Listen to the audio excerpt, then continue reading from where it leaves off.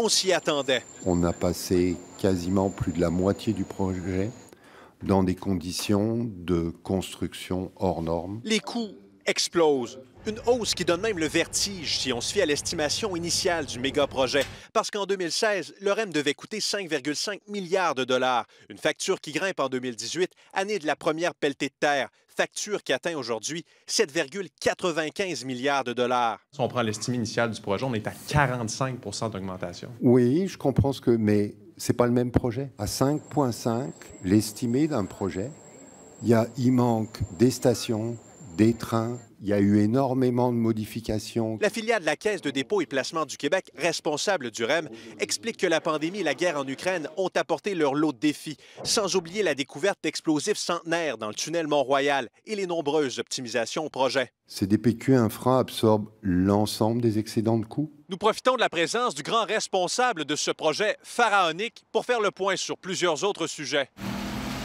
Le stationnement, ça en fait partie. Il n'y a pas d'espace nulle part. Il faut avoir la chance. Des fois, tu dois aller payer. En fait, bonne chance pour trouver une place gratuite aux stations Brossard et Panama si vous arrivez après 8 heures, disent plusieurs usagers. Combien de temps que vous tournez en rond? Au moins 10 minutes. Sur près de 3000 places, 2099 sont gratuites à Brossard, 227 à la station Panama. Quand vient le temps de payer, voici à quoi ça ressemble. On a le même nombre de places de stationnement sous la rive sud qu'on avait avant l'arrivée du REM. Et comment passer sous silence? Le bruit. Des rencontres publiques sont prévues d'ici la fin du mois dans les secteurs de Pointe-Saint-Charles, Île-des-Sœurs et Griffintown. Les conclusions d'un rapport ainsi que les mesures qui seront mises en place doivent être présentées. Et concernant la livraison des autres stations, CDPQ Infra garde le cap.